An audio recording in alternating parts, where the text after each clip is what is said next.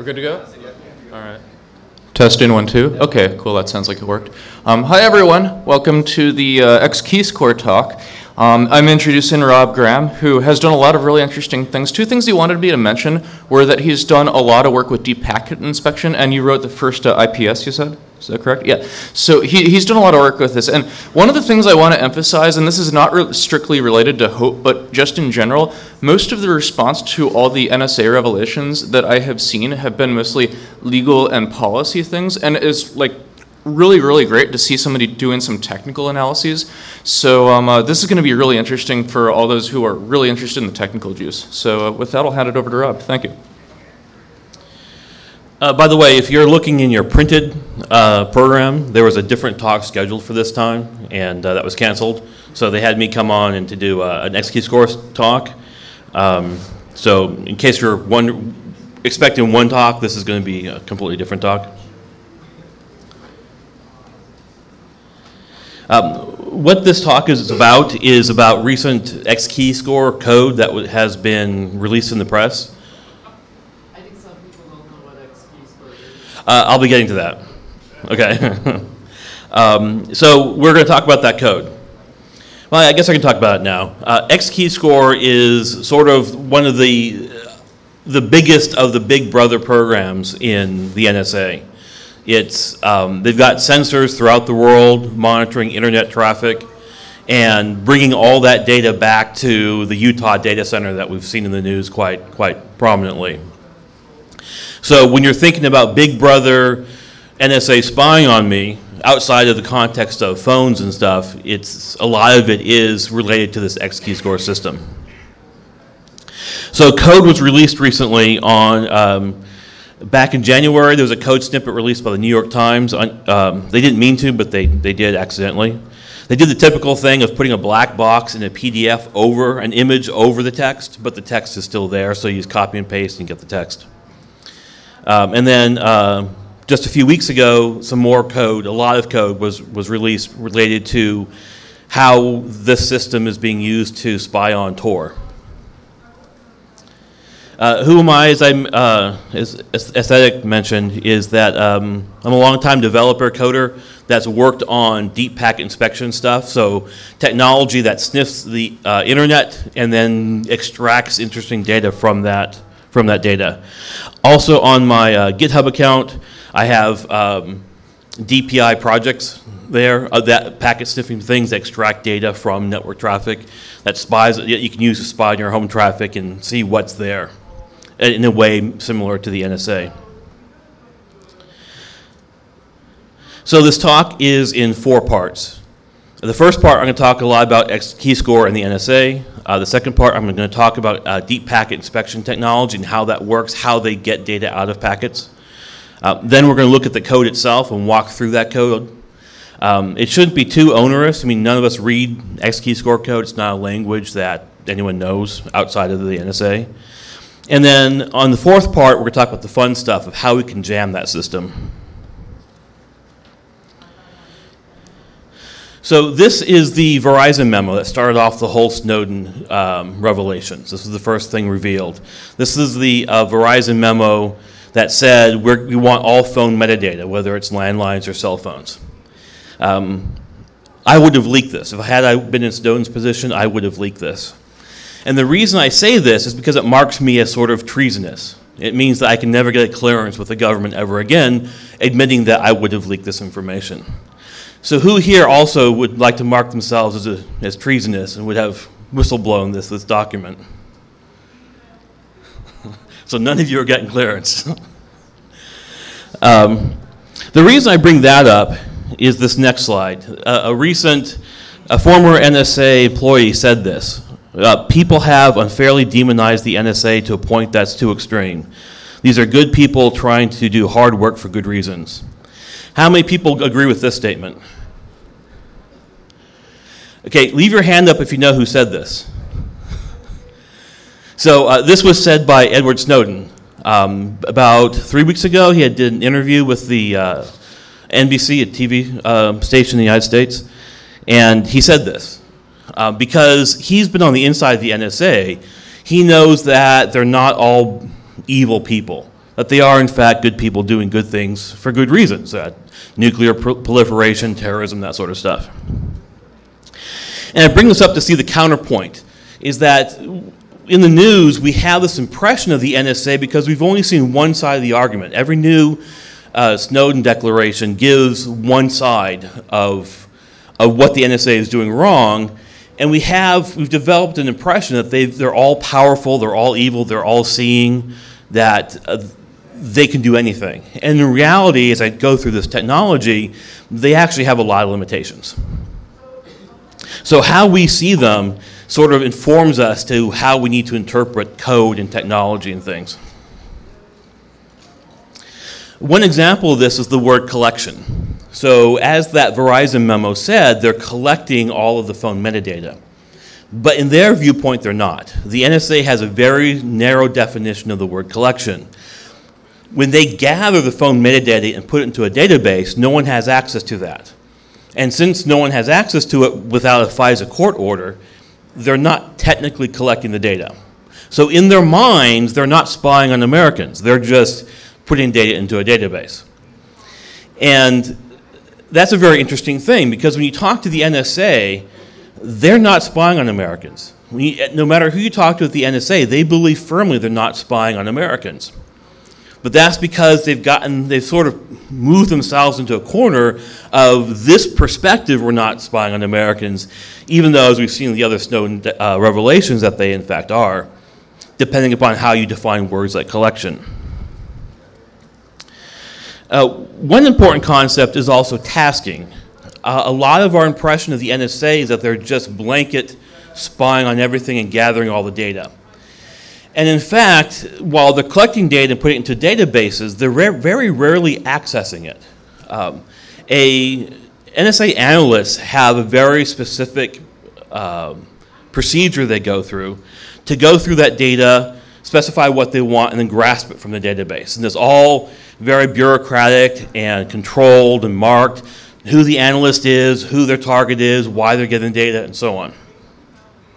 And we don't see that bureaucracy, we just see this blanket thing of them getting everything. Along with this is efficiency. Is analysts have an efficiency rating.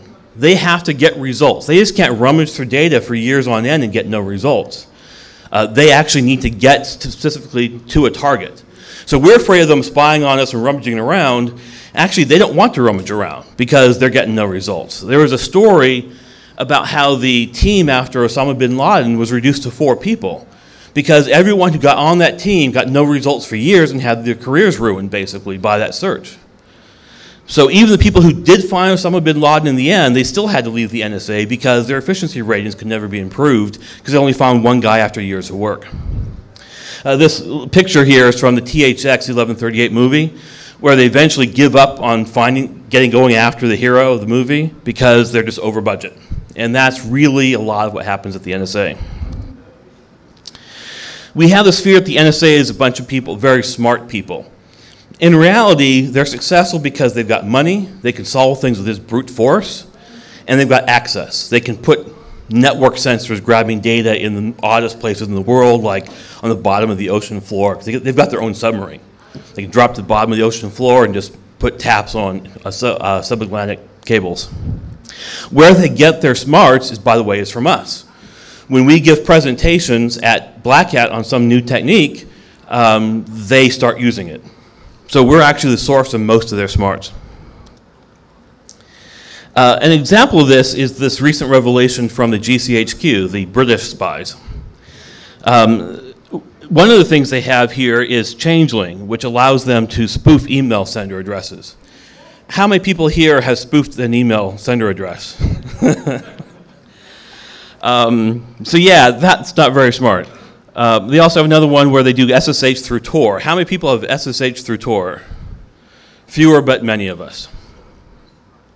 So there, a lot of what they're doing is not smart. Uh, there's one program that was recently announced called Boundless, Boundless Informant. And all this program does is it monitors all the other programs to see how much data they're collecting. Um, one interesting piece of information from this was uh, 97 billion records per month was that this was like March of 2013. They had 97 billion records. The top one is DNI, which means direct network interface, which means reading from, from internet links. Uh, the second one was the uh, phone records, the dialed number, uh, whatever it stands for. Um, so 97 billion records per month.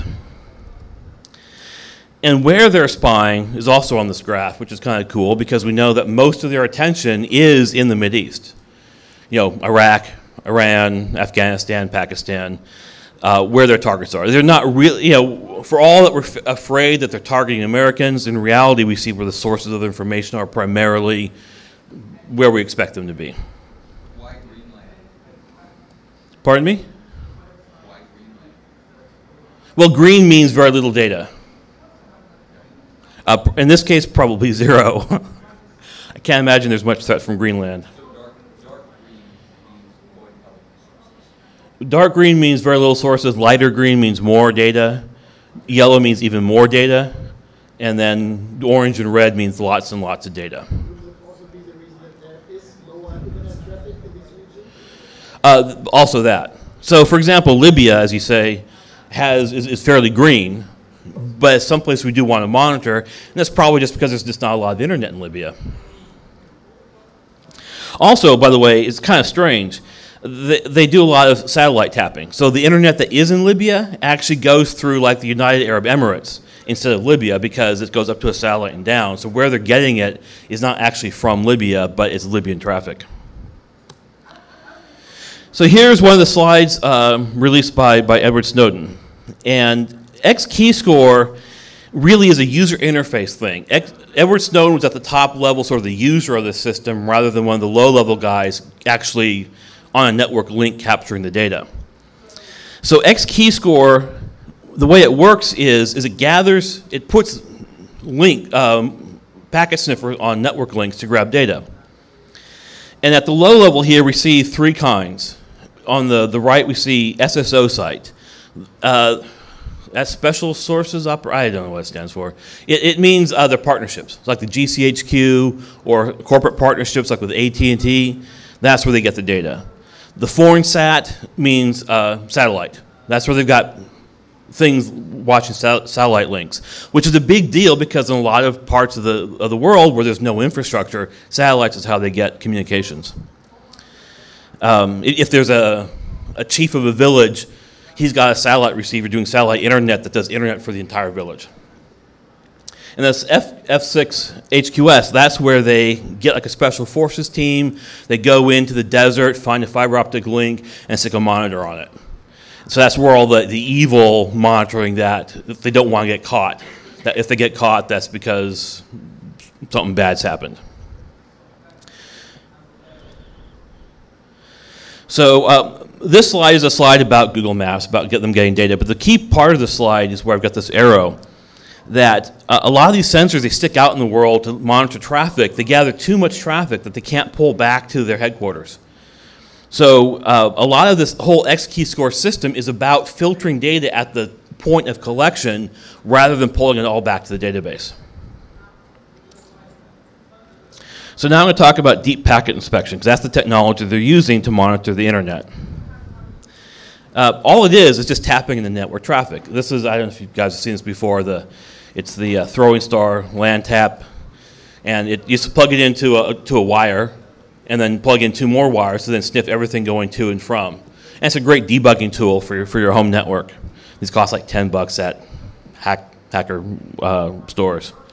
And that's essentially what the NSA is doing. They got a, they got a wire, they've got a hub, they just hook in there and say, give me, all, give me a copy of all the traffic. Uh, so this is what packets look like. This is a real packet. It looks kind of like random data as far as we can see looking at it. Um, but it's like the Matrix. So in the scene in the Matrix, we had um, Cypher saying, "Hey, I don't see code here. What I see is a, that's a redhead, that's a blonde, and so on." And so we look at this packet, and all of these data, all these pieces of data in here mean something. Um, for example, I've pulled out the IP address and the port number. So this is like HTTPS colon slash slash 74 at 125, 196, 128 colon 443. So that's what this packet is. It's this packet, um, an SSL packet. I don't know how well you can read that. So we can take that entire packet and pull it apart field by field. What this packet was, was when the SSL server sends you the certificate. And every field in that packet means something. Every byte in that packet can be pulled apart. What we see here is a picture of a program called Wireshark. And it's what network technicians use to diagnose network errors. Uh, they stick it on the wire, tap into the network, capture the packets, and then decode the packets and analyze them. And what the decoder does, it means saying for every byte here on the, the right-hand side, we're going to say what, what it means on the left-hand side. Because really, we, we like to think we can read the hex, but we really can't. We just use decoders like this. But what this also is, is a deep packet inspection tool. Oh, by the way, I want to mention something about Wireshark. So all these bytes have meanings. I can tell Wireshark to take this SSL traffic and try to decode it as HTTP instead. And this is the result we get. It's an error. It can't decode it because the, the data suddenly becomes meaningless. And I, I, I use this to highlight that the, the data has meaning. It looks like gibberish to us, but it actually all has, it all means something. So what XKeyscore works is, um, it's like TCP dump. TCP dump has this ring buffer mode where you set aside, say, hey, I want to, to do 100 files and each of a gigabyte in size and just keep capturing into that buffer. When you run to the end, just start writing at the start at the beginning again. So all you have is 100 files that are one gigabyte each. And that's mostly what XKeyscore is doing. They've got sniffers throughout the world on satellite links, on undersea cable links, in an Iraqi phone data center, uh, capturing just on a server just this nice little three days worth of data that just constantly always the last three days. And then what they do is they take all the deep packet inspection tools they have, and they use a lot of them.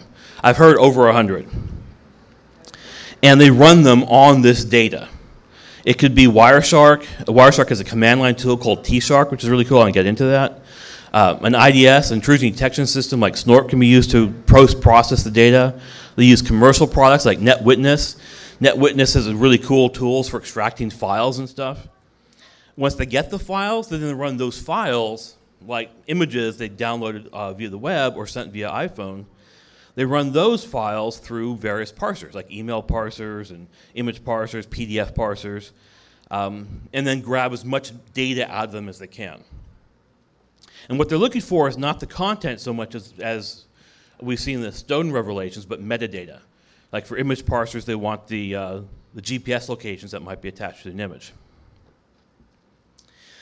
So as an example here, I was going to use Snort because that's an intrusion detection system that's in which you run live and very similar to this. But I thought actually I'd focus on T-Shark. T-Shark is just a command line version of Wireshark. So what you saw in that GUI, it does in the command line. And what you can do in T-Shark is say, hey, pull out all the packets in this you know, terabyte worth of data that satisfy one or more of these fields. So I can say, pull out all the packets where there's an X.509 certificate with the UTF-8 string of splat.google.com, and it'll pull out those packets. Uh, and T-Shark is great because it's got tens of thousands of these fields just like this.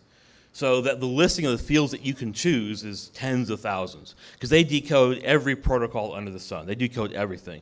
They're the most comprehensive um, deep packet inspection tool there is.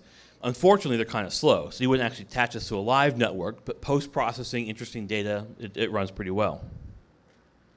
I mention this because people have this idea that, oh, we shouldn't release too much of the XKeyscore source code because it'll help other countries like um, do spying on their own people, and it's too powerful of a code, uh, too smart of a code to be released to the public.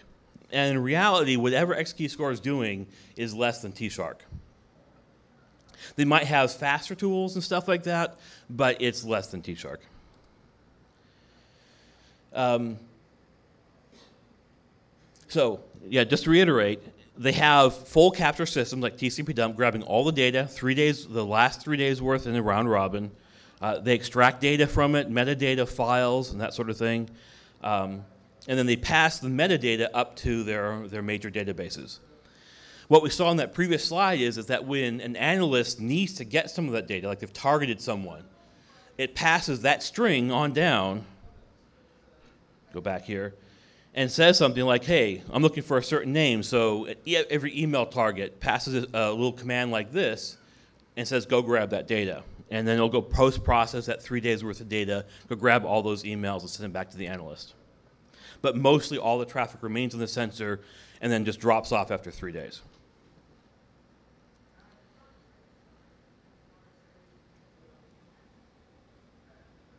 There's also not just the analyst to grab this data, but also automated systems. It, it starts from an analyst setting a tasking to say, hey, I've got this automated system that's going to do these steps. Like wait for that guy to log on and then try to send him a, a, uh, a hostile PDF exploit. And that's where the, the TAO uh, attacks come from. Okay, so let's look at the source code. This is the source code that was released on January of uh, this year by inadvertently by the New York Times. Uh, there's a lot of chunks here, so I'm going to sort of pare it down to the essentials. So at its essential, what it's doing is it's saying, I've got a fingerprint, I've got a file. I don't, I don't know what's in the file yet. But I'm going to test that file extension, just like the T-Shark expressions work, whether it has JPEG on the end. And if it does, I'm going to add the metadata to the file, and in this my little example here, saying picture. So that when an analyst needs to task the system and say, hey, show me all pictures that were taken from Iraq, um, they've got this metadata that can satisfy the query. Um, now, this, this thing was a little bit more complicated. What it wanted to market was not just simply as an image, but an image that has GPS locations in it. So therefore, the expression grows. So not only mark, not only trigger when it has a JPEG file extension, but also when it has this EXIF information. The EXIF information is what's attached every time you take snap a picture with your iPhone. Um, it attaches your GPS latitude and longitude to it, and it's a feature that JPEGs have. Uh, by the way, it's not a feature that GIFs have. So you see in this thing where they've added GIF as a file extension, it doesn't work there's no, it'll never happen. So uh, that's one thing we find with this X keyscore code is there's lots of bugs in it. Bugs that don't stop it from working, but which we can just say, hey, you can take that GIF out and it'll make no difference. Does that go by extension or by file signature? That's a good question. Um, so there's three ways we can recognize what a file contains. By its extension in the file name, like .jpeg. The content type, when it's, when it's downloaded via HTTP, it has a content type associated with it or by looking at the first few characters of a file name, it says, well, it can only be a JPEG or only can be a GIF. And this code says file extension, which is the worst and stupidest way to do it. Which means either they really are that stupid and they're just doing file extension, or they've got some other thing in the pipeline before this that marked the file say, hey, it was downloaded via a content type of JPEG, so we're going to put a file extension JPEG on it, so that then later things can trigger off of, off of file extension. So, I don't know. um, one thing to notice about this is that there's also another bug here, is it says the first condition and the second condition or the third condition. And people laugh because they know that that's a bug. Uh, because it's interpret it, most languages would interpret it and has a, a better precedence here. So it says either it's a, it has latitude and a file extension JPEG, or it has longitude, is how most programming languages interpret this. Um, but that probably doesn't matter because it's not going to have that property of GPS longitude if it's not a JPEG in the first place. So we could probably just take the whole test of whether it's a JPEG out of it to begin with. Yeah.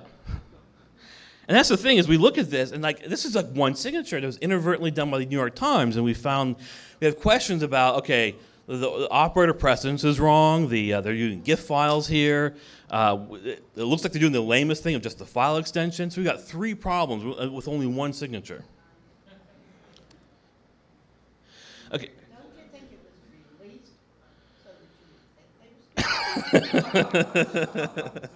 That's one theory. yeah, Snowden really is just, you know, he, that's he's a plant just to convince us of that. no, but it, it, actually is true that the, the, the, stuff that they put in these, doc, in these Snowden documents, most of these documents were um, the presentations for the intelligence community. So they're not putting in their smartest code, they're often in these presentations putting in examples or samples and not real code. So there could be reasons why it's dumb code that may not, maybe the code they put actually out in the real world might be smarter. Um, so um, a couple weeks ago, there was a story in German um, radio website that talked about how they, they showed all the source code targeting Tor. And so here's one of the first things that where it's saying, hey, we want to mark this. Again, this fingerprint thing is just extracting metadata. We actually don't know where that goes. Does it go to an automatic targeting system that tries to, to automatically hack anyone who uses Tor? Or is there an analyst out there who's specifically at this moment looking for Tor and that's why this exists? Or is it Tor and other conditions we can't see in this source code, but which happens in the whole process? Like, I want all access to Tor from Libya. Maybe that's his query. So we don't see the whole picture here. Um, also, what we see is that in this code that was released, there's lots of missing pieces. We see this variable name, uh, Tor authority, that's nowhere defined in the code. So we don't know where the Tor authority is. We know in practice which servers are talking about, but we don't know uh, how they've defined that variable. So again, with the purpose of this is just to say, hey, I need to mark um, all TCP sessions that go to and from a, a Tor node authority, and I'm going to mark it with this metadata so I can then query on it later. Um, another uh, signature was this one, is they want to find all the Tor bridges. Um, and this one worked by uh, decoding the SSL certificate. And what we see here is it's looking for the X.509 subject name, the D DNS names within certificates, SSL certificates. So as soon as you connect to uh, an SSL server, you see the certificate. And I mention this because that's very similar to the T-Shark signatures I showed you before, where T-Shark can pull all this information out. So in fact, they may be using T-Shark as the underlying thing that services this that they just send these, wrap them up in the T-Shark signatures, and then that's how it's, how it's done. Uh, they had a more complicated signature, and so this is sort of the outer portion of that signature, where it looks for uh, emails. One of the ways you can get Tor bridges. Oh, by the way, let me talk about what Tor bridges are. Um, we have all the public Tor servers out there, the Tor nodes out there. But those are all banned a lot in countries. So in Great Firewall, China and stuff just has that list in there of all the public servers and bans them or something. So if you're an activist or a dissident in one of these countries, um, you want a secret server, a server that is a, a, a, Tor node, but which is not generally known to the public as being a Tor node. So you go to this bridges at torproject.org, and they'll send you an email that says what those bridges. It'll give you five bridges that you can use that are not known to the public. And, every, and everyone who sends them an email gets a different list of five bridges. So what this signature is looking for is I want to scan all the emails that I'm getting on my collecting on my data, and I want to scan them and grab all that those lists so that me as the intelligence operative can get my own list of all the public uh, Tor bridges. And so that's what this fingerprint starts with. It says, okay, the email address from bridges at torproject.org, and somewhere in the email body is the string Tor bridges. And then, that we see here, is going to shell out to C++ code, which means whatever system is running, it's now going to run some C++. And what's in that C++ code is, I'm missing something here.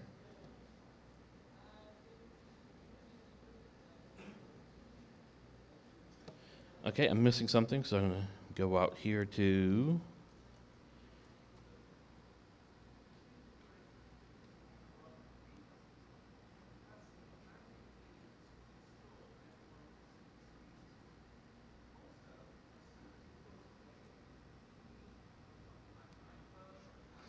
Okay, what we see here is the regular expression. So it takes an email message and runs what's called a regular expression. And that's this bit right here. And that's just matching that string of bridges, space, IP address, colon, port number. And that's all of this complicated regex is doing. Uh, I'm going to talk more about this regex in a bit, but um, so I just want to make sure you, you see the regex. So that regex then causes C code to be executed. That regex has these things called captures, that when you put a parentheses and a regular expression to grab everything between that, the parentheses. So it grabbed an IP and a port number.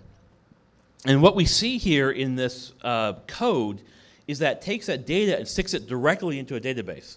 So uh, until this point, we've been using APIs that fingerprinting, like fingerprinting an email, causes metadata to be attached to that email. So that email can then be queried and pulled up by an analyst.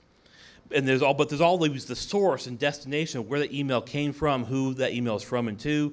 All that information was included with all that metadata, and it wasn't lost. So that if later an auditor, an auditor comes in and says, was that email you captured an American citizen, they've got the full trail of where that email came from. They know where it was captured, like, okay, this was in Iraq, it was sent to this guy, it was sent from that guy, and so on. But what we see here in this C++ code is they're extracting data, putting it into a database, losing all of that context. So, so later on, if someone says, where'd you get that bridge information? They don't know. We got from monitoring the network. We don't know where it came from or which, whose emails we monitored. Was it an American citizen or not? We don't know. So this, this is one of two things. When I, when I saw this in the source code, I had one of two thoughts. The first thought is, A, potentially um, the NSA is breaking the law here. That there, it's something so technical that no FISA court auditor will ever notice that they're actually breaking the law and getting data without knowing who it came from. Or uh, maybe the source code that they got is not NSA source code at all. As I said before, the NSA works with partners. Their biggest partner is the GCHQ, the, uh, British, the British spies. Well, they don't, they don't have quite the requirements we have for monitoring their own citizens. They don't have quite the whole infrastructure for knowing where data came from. So they, those guys have the ability to do a signature like this and send it down to their systems that they control of just grabbing data and saving it and not knowing who it came from. So either the, uh, the NSA is breaking the law, or the American law, or it's one of the, the partner systems. Is that a question?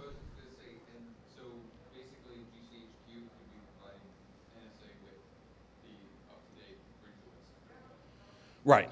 That may be a product that they give to the NSA. The NSA just says, hands off, we don't know where the data came from, we don't care. Um, the GCHQ gave it to us.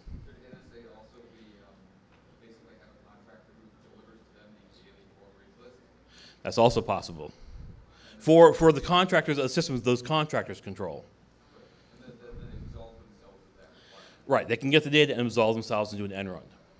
But they're not getting the, so the, if they're getting it from their own sensors, they're breaking the law. They're getting from the DHC, GHCQ, they're not.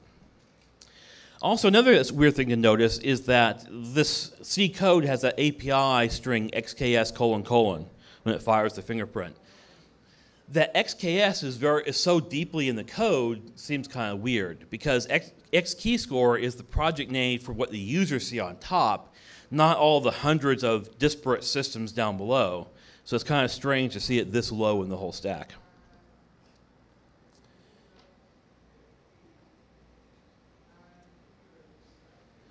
So um, they had some other strings uh, here's another misspelling Tor project that they misspelled with a note missing an R there or a second R. Um, but one thing about the signature is kind of interesting is it does show that there's still care about where data comes from. So whoever wrote these signatures do care that there's a different set of rules for the five English-speaking countries and everyone else. So whatever rules they're breaking, we still see in the code everywhere that they're still trying to follow some sense of the rules the big uh, story from that um, German story was that it was calling people who use Tor and Tor websites as extremists. And that's kind of a misreading of what, that, of what they, we see in the code. So here's a comment that say that Tails, a version of Tor that runs on its own USB drive, is advocated by extremists on extremist forums. And a lot of people have interpreted that as meaning the reverse, that all people who use Tails are extremists. And that's not what this comment says. It just says extremists use tails. Um, and which is, by the way, true. If you go onto jihadi forums like ISIS, the Islamic uh, Caliphate now in Iraq, they recommend using Tor and Tails. You go into their forums and they recommend it. So just because they use it, just because those guys uh, advocate using it, doesn't mean that everyone who uses Tor and Tails is an extremist. Uh, and that's not what the code says either. Is the code is triggering on things like Linux Journal and the Tails website, which you see in these strings, but it's not labeling those forums as being extremist forums. They're just saying extremist forums go to these websites in order to download Tails. And that's what we see in the code. So that, big story it has, again, is this one-sided story that, that kind of, and we see in that German news story, they take, they take one-sided of it and don't kind of take the opposing side that maybe that's not what the code says. Um, there was another uh, thing, just like the bridges, it would pull out onion addresses. Again, onion addresses are not publicly known. Unless someone gives you their unique 16 byte code, you can't access their website. So uh, this again, it uses uh, a regex to grab it. And one thing I wanted to focus on that regex is that both this regex and the one that grabbed the bridge information, they both optionally grabbed the port number when it was in the string. And they did so in two completely different ways. So you, you see the snippets from the regexes. The first one is from the is from this one grabbing the onion addresses, and the second one is grabbing the port number when it's a bridge address. There's no reason for these to be different. It's just that regex is such an ugly, terrible, nasty language. Like, just look at it. It's awful.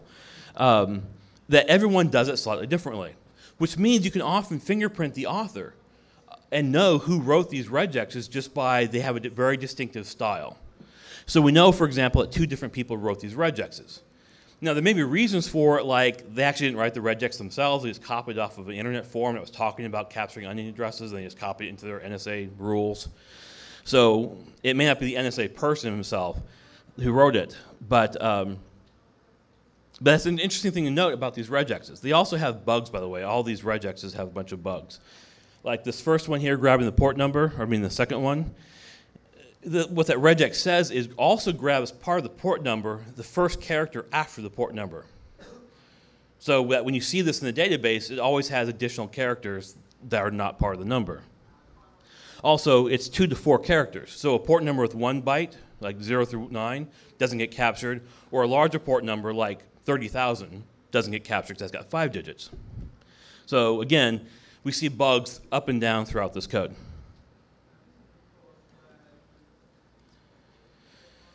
Um, and then what it does with the port number is it puts it up into a Google protocol buffer. Google created this way of creating easy protocols called protocol buffers. It's kind of a weird, stupid name. But part of what this shows is that this NS, the NSA is just grabbing what everyone else is doing in the community. Oh, Google has this new thing called protobufers. Well, we'll, we'll use protobufers in our code. It satisfies our needs. Or the whole map reduce paradigm, or everything that we would do to create this is just what they're doing. They're not doing anything special other than what we would be doing.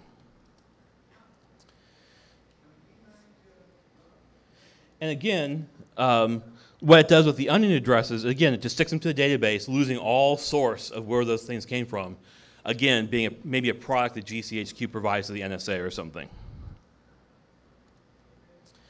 So now let's talk about jamming the system. Now, most of what we talk about for the NSA is about evading them by encrypting our stuff so they can't see it. But it'd be really fun is to attack them and do nasty things to them. For example, one of those signatures was looking for Tails plus USB within Google searches. Well, what I can do on my website is I can put an image tag that's not normally seen by the users, but which goes out to the Google search URL and causes a search to happen for Tails plus USB. What that means is, is now their database is now filled up with people throughout the world doing this search. And no one knows they're doing it. It's now the, the Google or the NSA analyst who is looking for this information, who's searching for, to, for, for uh, for Tails on USB has now got been flooded with data. Their databases probably have maybe filled up on some of their sensors, and now they can't process the data.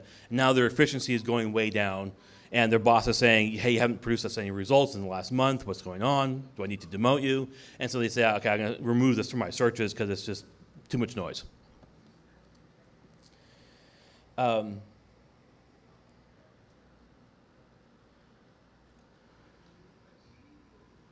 So one thing is um, with Tor is the Tor right now runs as a separate service. It uses SSL, so it looks very much like a web server, but it's not a web server. Well, let's make it a web server. Let's make it so that our own web servers on our own websites actually have just a Tor as sort of an Apache plugin.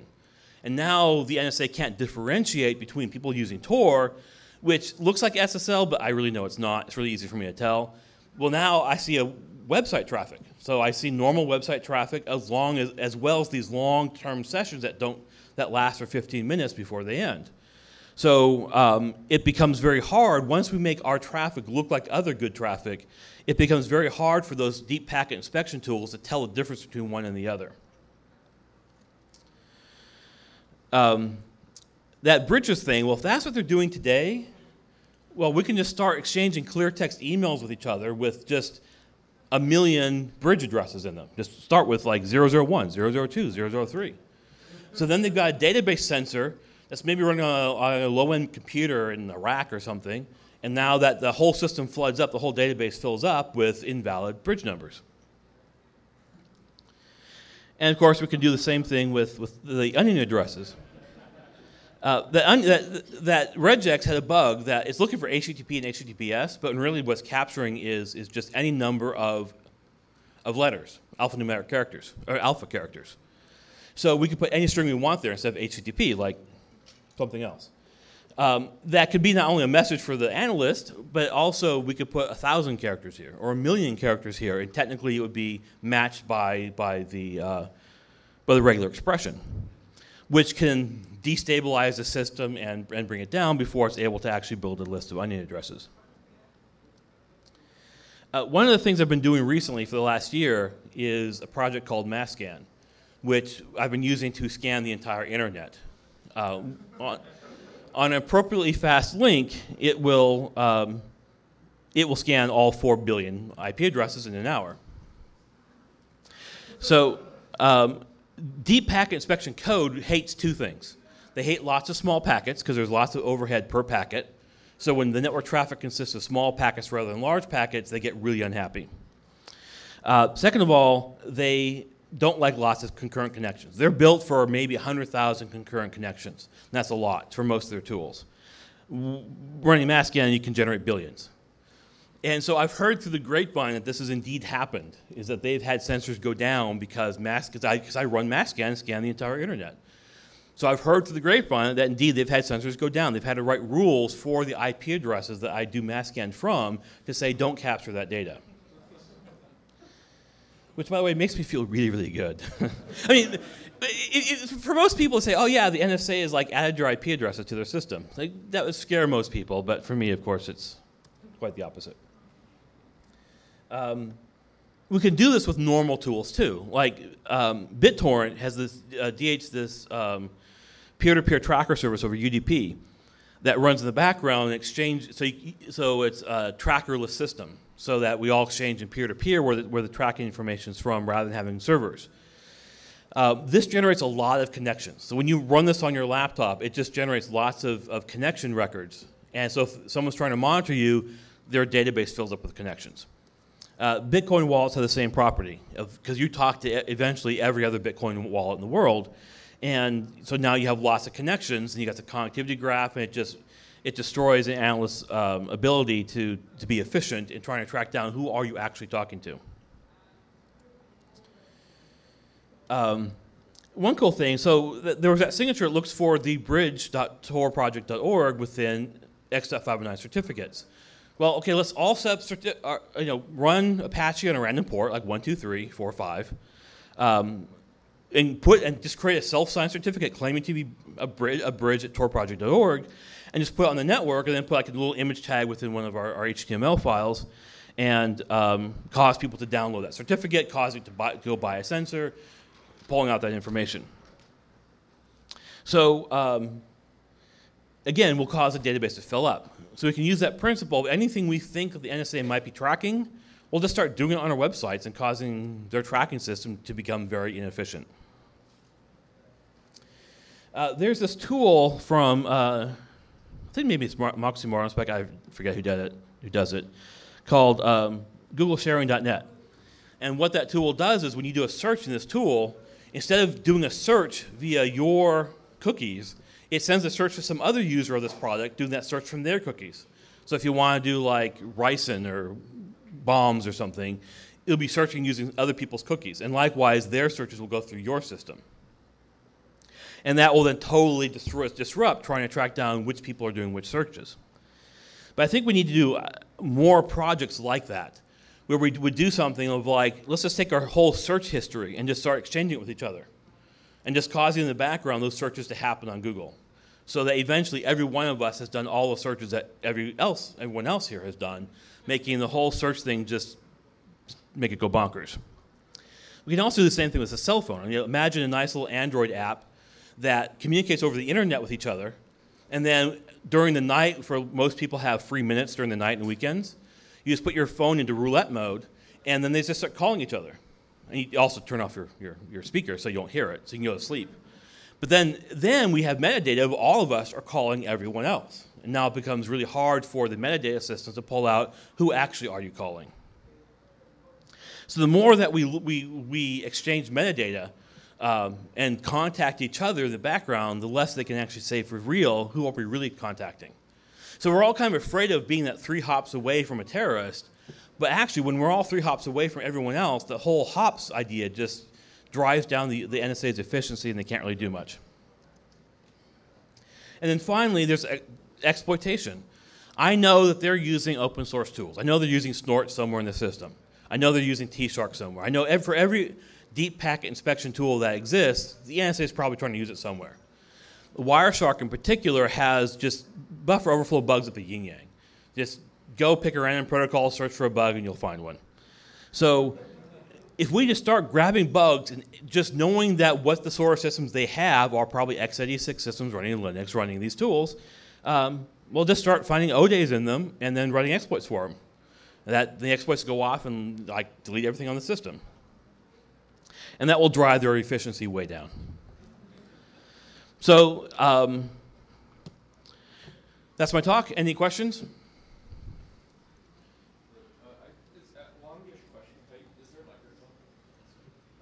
You can come up here.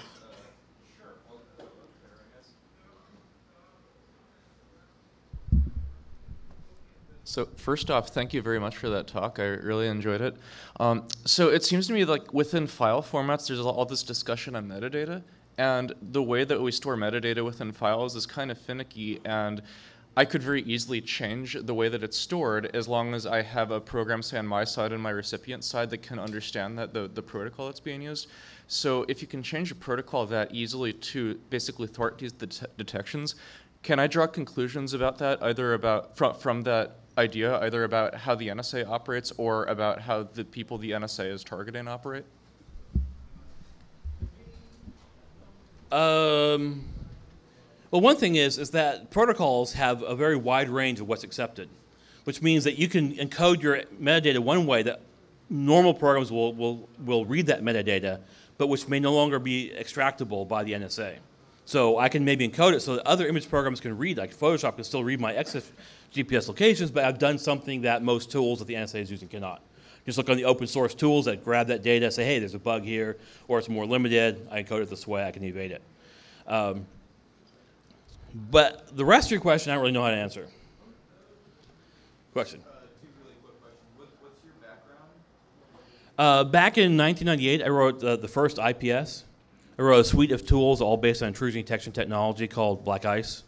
And um, uh, it's, it's deep packet inspection. Decodes a lot of protocols looking for intrusions and was like that. Uh, and in 2007, I did uh, sidejacking, which was deep packet inspection to grab cookies and then put them into your browser so that you can like hijack people's connections without knowing their password. And then um, recently, I've got code up on my GitHub that does deep packet inspection.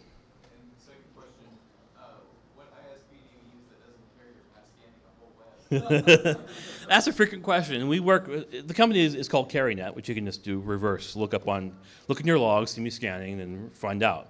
Um, but we work closely with them. So we've got our own little swipe, little eight address range that gets the abuse complaints back to us. We, everyone who asks, we put into our, our uh, exclude file so we won't scan them again. So we, so we work closely with them to, to avoid any disruption. But by the way, back to mass scanning, uh, Hope has a 10 gigabit uplink to the internet, which means just go grab an Ethernet cable, go to one of their hubs, sit down there, and just run mass scan. It runs on all platforms, and just compile it, run it, start scanning the internet yourself with the Hope traffic. And you can like scan the whole internet in an hour with a proper gigabit uh, adapter in your notebook. And they would love it because they want to fill up that 10 gigabit pipe, and you're going to love it because you're anonymous. Um, the NSA is going to hate it because if they're monitoring this traffic at all, they're not going to see, the, suddenly all their sensors go blind because they fill up with the connection table limits that get exceeded and they just barf. Um, one of the address ranges they have is a, actually a Netherlands address. So the NSA is probably not looking at Hope from the, maybe the FBI is, but not the NSA, on the uh, American address ranges. But the, the ones that are actually Netherlands, officially assigned to Netherlands, uh, they might be monitoring. So you can cause them lots of, hat, of hat, a headache if you just go downstairs and hook into the hub and start scanning. Any other questions?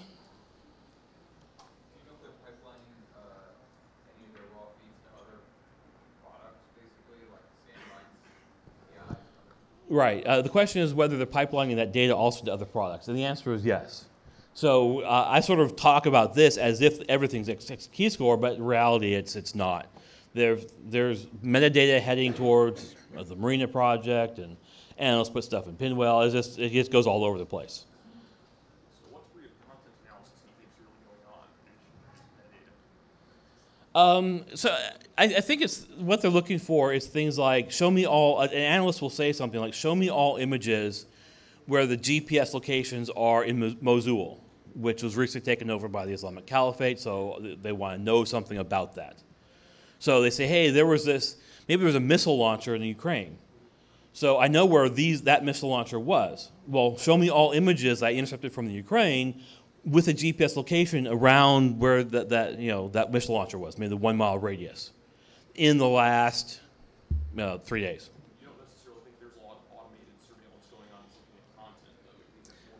I think well, there's a it's mostly metadata, but of course, some smart guy says, "Hey, I know if I do this, this, and this with facial recognition, I'm able to throw things into a smarter system." But the smarter systems take a lot more compute power, so they they can't grab every image and throw it through a facial recognition database. What they can say is, "We'll grab maybe." GPS data, narrow it down via the, the metadata, and then just pass the small feeds up to Utah for more extensive processing or something.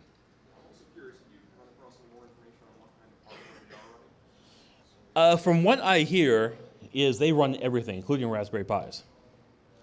So when they get like it, when they break into a data center, they want like they, they want to monitor phones a lot. So they're going to break, they're going to hack into someone's data center. They're just going to use the hardware that's available.